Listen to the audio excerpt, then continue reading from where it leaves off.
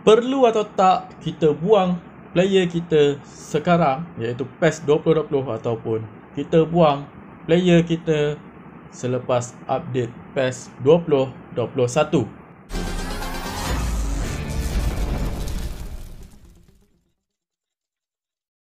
Assalamualaikum gang.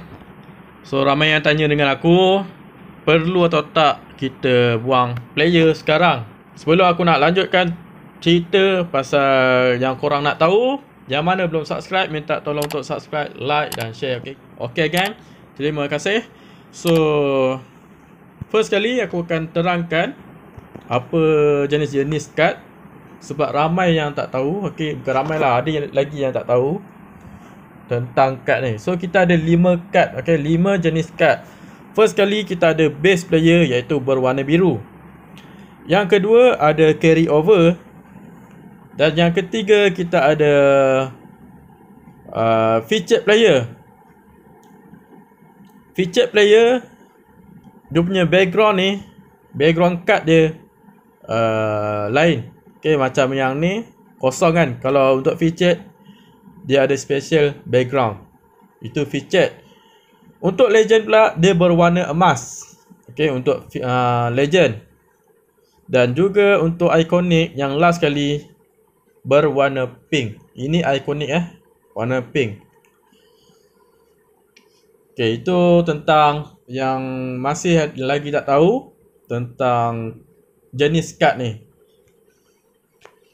Okey, seterusnya Okay, kita dah dapat tahu bahawa uh, ramai player yang akan turun. Salah satunya uh, David Luiz, Socrates, okay, pemain Arsenal, Lacazette. Okay, memang ramai sangat yang aku tengok dia akan turun. Lepas tu Ozil. Okay, lagi siapa lagi? Arsenal je aku ingat. Aku tak ingat lah siapa yang kelab lain. Bruh. So korang boleh tengok lah yang lain dekat aku punya group Facebook ataupun dekat aku punya Instagram. Okay, PES Mobile Malaysia underscore MF dan Facebook pun sama juga rasanya. Okay, korang tengok je dekat description aku ada dekat uh, letakkan link aku punya group Facebook dan juga Instagram. Aku ada letakkan gambar tentang base player untuk PES 2021 okay. Aku tunjukkan gambar tu hanya black ball sahaja rasanya lah. Tak ingat lah. Yang emas aku tak pasti. Sebanyak 120 black ball sahaja. So kalau yang tak ada player yang dekat situ. Yang korang tengok kalau contohnya Socrates tadi. Uh, Ozil. Lacazette. Dia akan jadi emas. Okay, yang aku tahulah. Dia downgrade ke emas. So perlu atau tak kita clearkan player sebelum PES 2021. So ramai yang tak faham. Okay, untuk carry over ni kita jual lebih mahal berbanding base player. Okay. Salah satu contohnya korang tengok ni eh. Okay, ni. Untuk Genzi, untuk PES 2020 Okay, nampak ni background warna biru bermaksud base player dia punya bola berwarna emas. Manakala untuk PES 2019 iaitu carry over berwarna silver. So korang rasa mana lebih mahal? Mesti korang ingat emas lebih mahal kan? Sebab apa dia emas? Okay, uh, punya level atau rating dia lebih tinggi.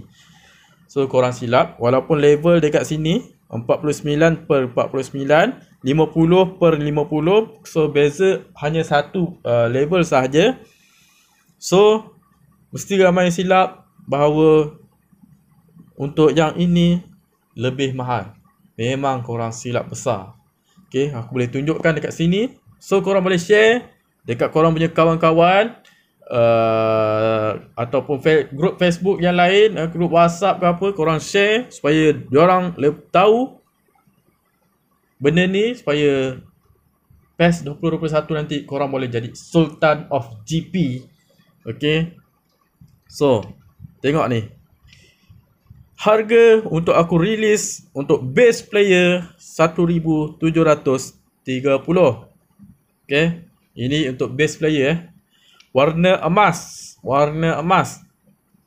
Tapi kalau aku riliskan untuk yang silver punya 3310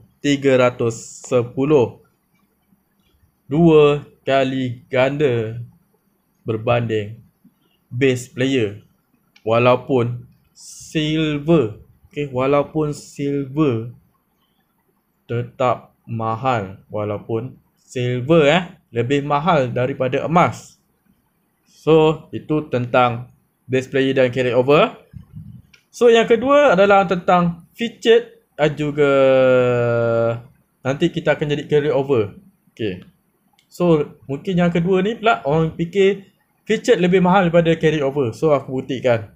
So yang kedua ni pula aku ambil Aubameyang eh. Untuk Aubameyang ni featured eh warna purple ni ni featured. Okay nampak background dia. So aku kena remove dia punya lock ni. Okay. Ini featured eh. Kalau featured aku jual dia 11,420. Okay, ini untuk featured. Okay. Featured ni uh, sama macam base player juga eh kalau korang tak tahu. Cuma dia lebih uh, orang lebih padu lah. Okay, dia punya macam shooting, dia punya speed, dribble dia lebih tinggi ber berbanding dengan base player. So yang ini carry over. Okay. Korang pun tengok dia punya level. Dia punya rating 93. Yang tadi 96. So tengok eh. Kalau aku releasekan carry over. 23,000. Dua kali ganda juga. Okay. Korang jangan silap. Featured lebih mahal berbanding carry over. Ataupun emas lebih mahal daripada silver. Okay, korang silap. Pak, aku dah buktikan dekat sini. Korang boleh tengok. Puas-puas.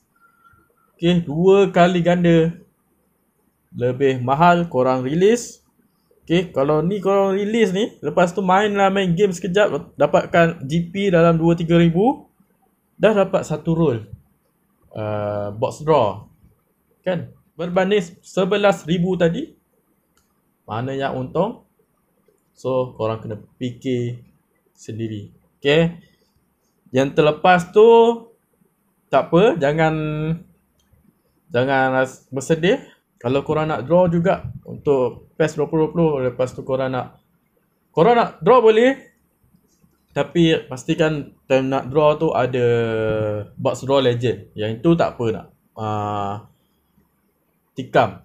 Jangan tikam masa tak ada legend. Okay, sebab rugi walaupun benda tu korang tahu dia akan jadi carry over. Okay.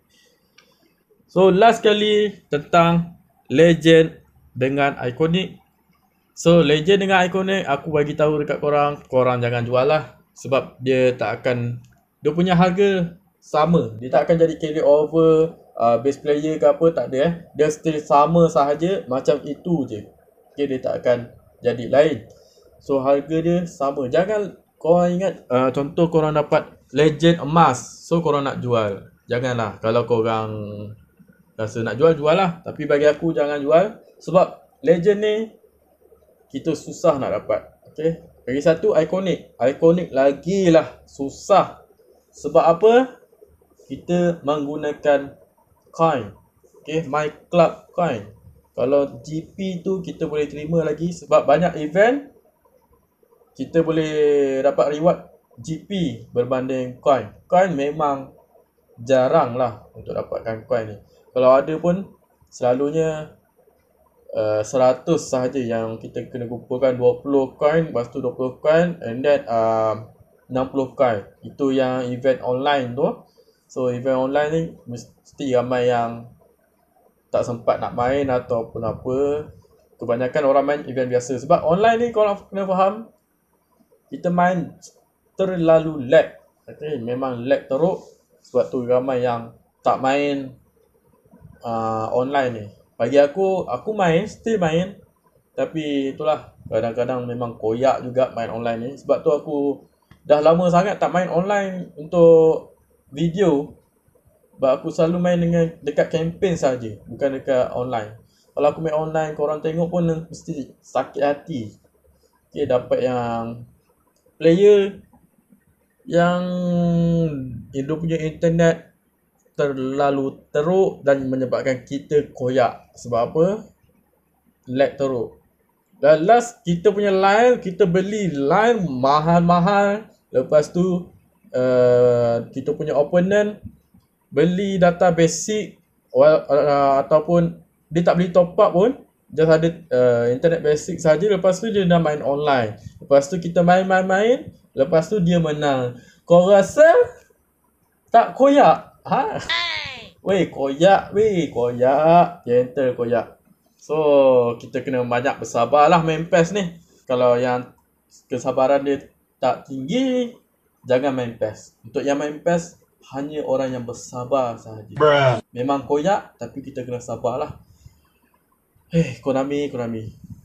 Kenapa kau tak improvekan benda ni? Hei, sampai sini je lah untuk video kali ini tentang kita perlu atau tak untuk release player kita sebelum PES 2021 update. So yang mana belum subscribe tak tolong untuk subscribe, like dan share. Okay guys. Terima kasih. Jumpa lagi next video. Assalamualaikum. Bye bye.